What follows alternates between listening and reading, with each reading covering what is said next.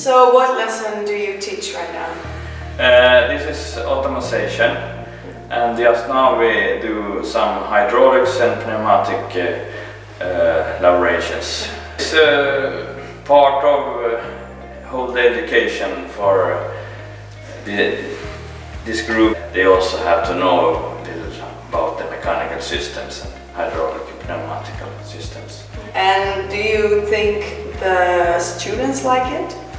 I think so. I think they have a lot of theory otherwise.